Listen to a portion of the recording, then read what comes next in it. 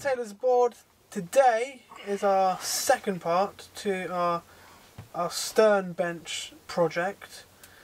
Taff seating, isn't it? Taff yeah, rail. TAF. Yeah. And Thanks to Graham? Graham Wright told us the technical name for it, Yeah, which is a cool. TAF rail. I like T. A F F uh, rail. And yeah, as you saw in the last video. Anyway, carry was- on. Yeah. Um, stop weaseling in the back of my ear.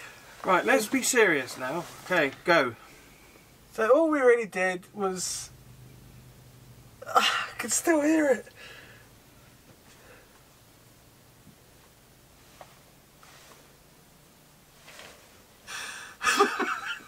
so all we did was measure the wood, cut where we needed to cut, and that was pretty much it.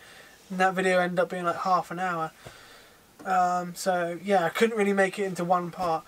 But yeah, today we're pretty much doing everything else to the seat that we didn't do in the first part. So we're gluing down the seat, we're sanding it down, and we're screwing it into place and varnishing it, which you'll see doesn't go to plan, and um, then finally painting it. So yeah, overall it went pretty well, and we're Looks nice, doesn't it? yeah.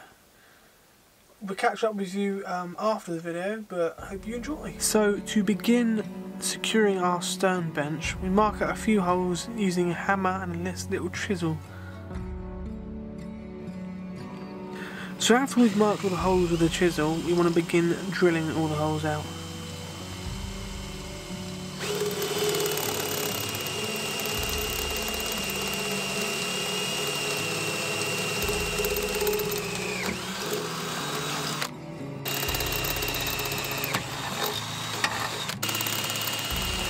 Handy little way to clean up all the mess is just use a little magnet.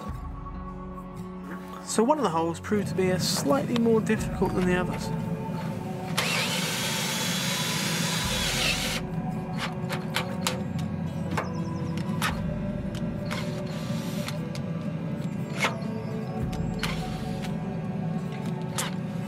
Feels like a nasty bit down, there.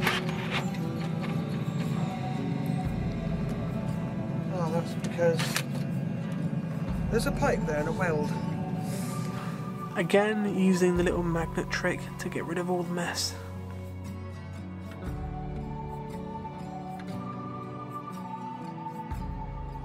And finally, we had drilled out all 14 holes.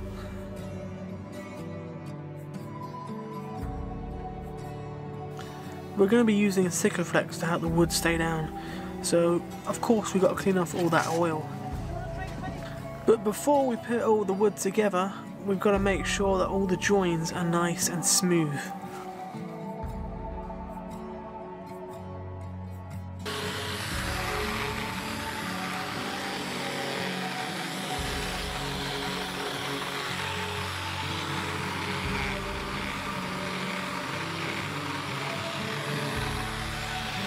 One piece wasn't going to work just the sander, so we had to bring out the saw. Ah, blast it. Not even the saw would cut it, so we had to bring out the jigsaw.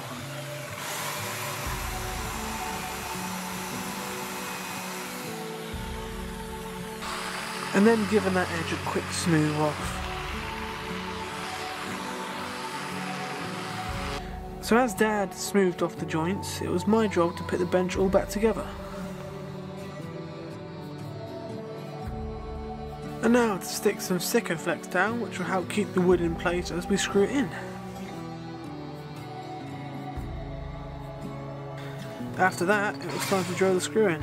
But would these screws be long enough?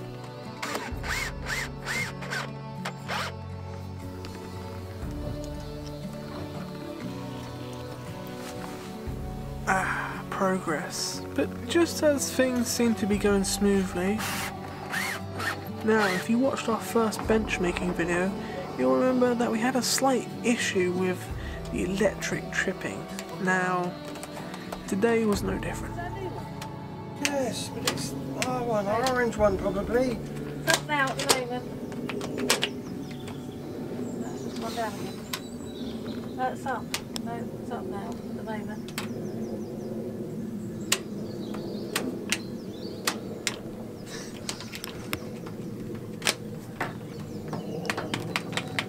Hairdryer in there.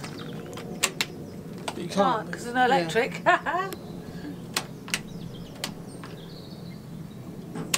Let's get on the phone to them again, I think. Fuck's sake, man.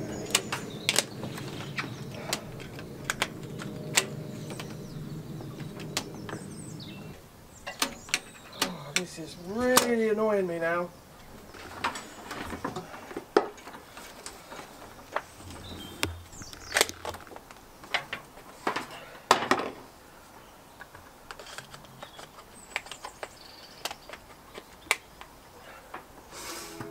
Try that one. So obviously all the joins aren't perfect, so to fill the joins we're using some Ronseal wood filler.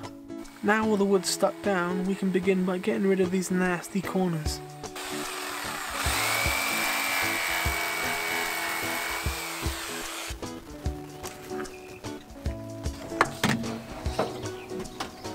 Give up in a minute, this job.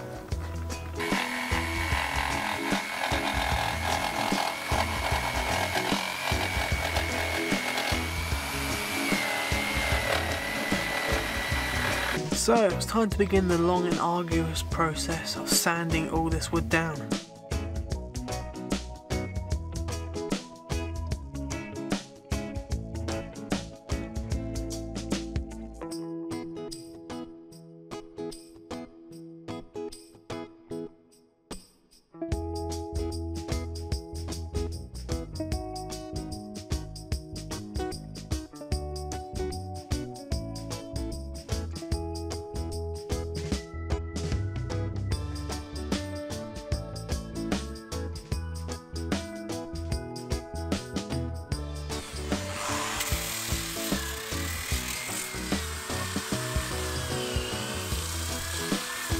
As you can imagine with all this wood we went through quite a few sanding pads. And just like the table making video, dad looked like he'd done some roly-polies down a Bally sand dune.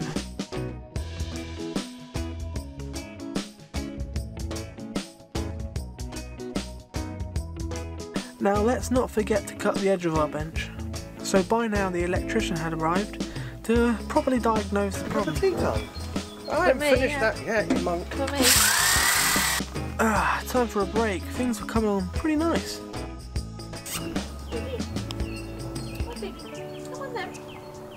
So we went out and bought this Ronseal yacht varnish specifically for this job. Um, but you'll find out, yeah, we don't quite like it. This will protect it now. Even one crack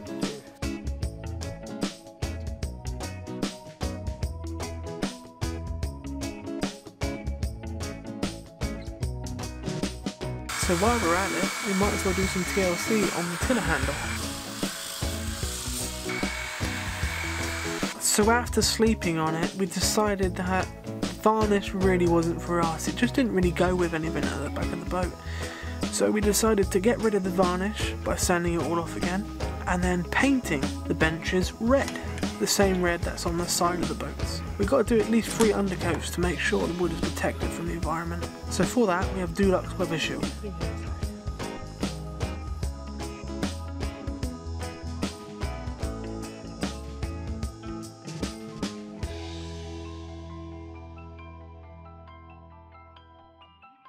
So here's a nice shot of the table and the bench with a white undercoat.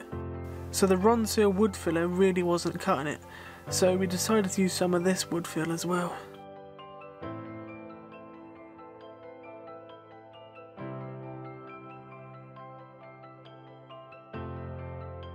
So before we do the next layer of undercoat, we've got to give it a quick key. And on goes a second layer of undercoat.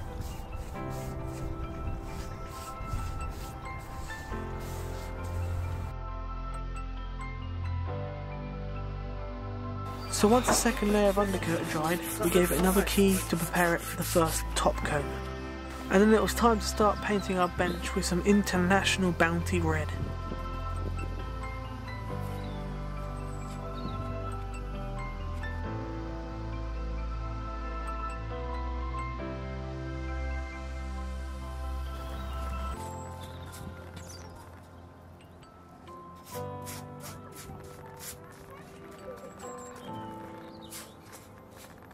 After waiting for the first top coat to dry, we began the finishing touches by giving the bench one final layer of top coat, making sure to use a quite expensive Harris brush.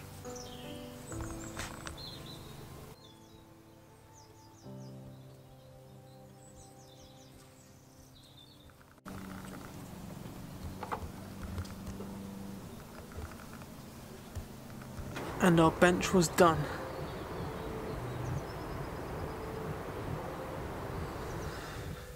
So we finally finished the, um, the Stern Bench project, which it's like the seventh of March today, and we did finish it on the twenty sixth of February, but it took me a while to actually uh, edit this video and, and film the outro, because some reason we don't even do an intro and outro to these bloody videos. So now we have to come back while I'm editing it and make the intro and the outro.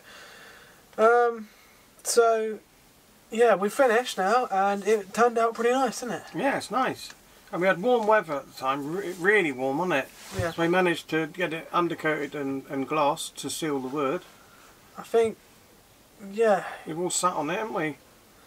it was. It ended up being a lot more work than we initially thought, because yeah, we had to measure it all up, plan it all out, cut all the joints, Yeah, it's very complicated.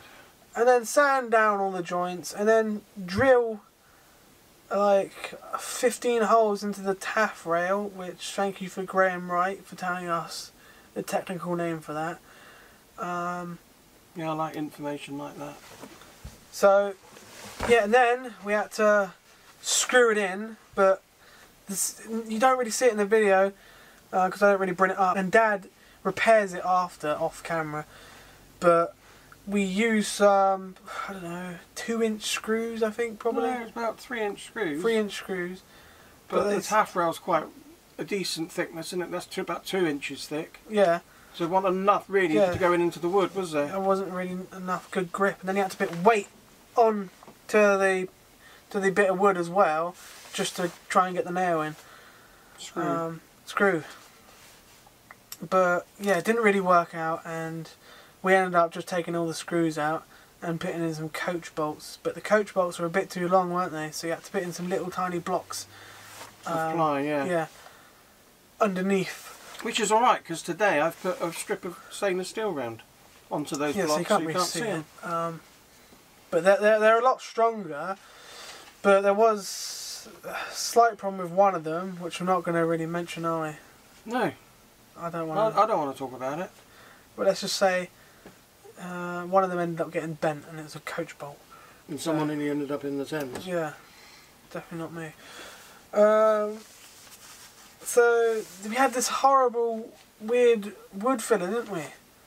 Yeah, it's a really good make. It cost a lot of money. I can't remember what make Ron it seal. was It was Ronseal. Yeah. Says Um, it's natural. Yeah, it was. It looked like bloody brickwork. Yeah. So like- when we yeah. varnished it initially, it looked horrible because these the wood filler was just sticking out from every little joint and corner, and it just looked so wrong. And then on top of that, the natural colour of the wood didn't go with anything else on the boat, so Mm. we then slept on it, and the next day we came out and took off all the varnish by sanding it, and then just painted it.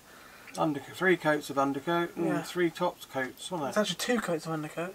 Oh, two coats. Yeah, watching the video back, I thought we did three coats, but we Mm. did two coats of undercoat and two coats of top coat. Three coats of the top coat. Did we? Yeah, I've put three on it. Oh, maybe I missed the last one. Mm. um, but yeah, it turned out pretty nice. It looks pretty smart out there. Yeah. It's that nice paint though, international, isn't it? Toplac. And you'll know it isn't that comfy to sit on. Um, you're not going to sit on there for long periods, and if you do, you've uh, got the we've got these cushion uh, things that you can strap around onto Mm. them. Um, but most of the time, when you're cruising along, Dad's going to be taking up most of the space, and me and Mum's just going to be standing up or sitting on the edge now and again. Um, Thing is, it's a nice route. You don't want it too big, the bench, because it's a nice space on the cruiser stern, isn't Yeah. it? For the table, you can put a couple of chairs out up there if you want. and that's why we got that rid of that bit of wood in the middle, which was taking up too much space. It's alright when you're moored up and you're on a wide bit of uh, towpath and then you can get the chairs out and the table out, which we've got, uh, and you can enjoy it. But when you're on a narrow bit and a busy bit, you can just sit on the stern deck, which is quite nice. So in the end, we're glad we got rid of that old bit and put in these uh, this um, new seating. Turned out pretty nice. Mm. So yeah, that's the video. Hope you guys enjoyed it. Um, don't follow our tutorial because we probably did a lot of things uh, wrong. So this is more of a how we do, not how to do. Definitely not stolen from Weldeck Diaries. No, I would never steal it from Weldeck because I like them. um, but yeah, that's it. I hope you enjoyed. Please like and subscribe and check out our Patreon. Um, and also our Facebook and Instagram. We've got everything, I think. So yeah, check them all out. Um, go follow us on all our social medias. And stay tuned for the next video. Thanks, guys. Bye bye. It's cool, isn't he?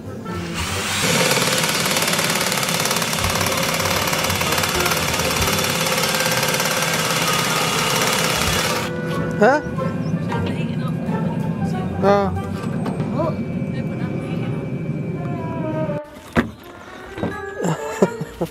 Monumental challenge for him. Alright. I've only got a little bit of Sikaflex, so I can only use a little bit. That's it. Run out. Oh no, hold on. I wasn't going to put Sikaflex on it. I decided to do it last night when I was laid in bed. You have to stop everything to look at the bloody bird. Peregrine, isn't it? Oh, fuck's sake, man. The ah, screws, oh, screws out. God's sake. Oh, no. I give you the phone, didn't I? You didn't give me the phone. Getting on my nerves. I had to record you You said you gave me the phone. You didn't, alright? Why don't you get a proper tool to do that instead of your finger? I haven't got a proper tool to do it. Something pointy would work.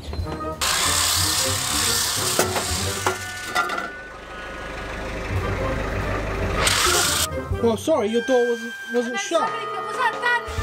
Light on? It was me. You were still awake then, so I thought I'd turn the light on. It's a queen bee Bloody hell. coming out ready to make a nest with a string. Chicken back, freshness back. Chicken back, get the freshness back. Oh my god, he's getting gay and he's like, How did that stop with the lens? He's just dropped all the sanding uh, pads, Mum. Hey? He's just dropped all the sanding pads. Sand in the what? He's just dropped all the sanding pads. Where, not in the water? No, in there. Oh, a oh, frog on his nose. Did you like that? That's calling the geese. Oh my god, that's too close. Was that really close? I Couldn't even see it. Run, he's bigger than you! Run!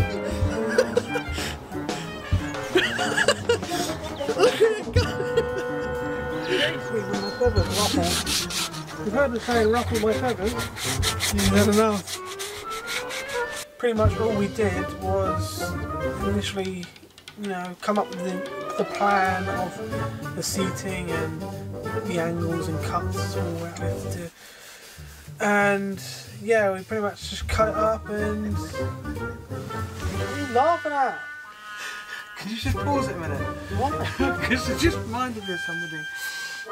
Carry on, sorry, carry on.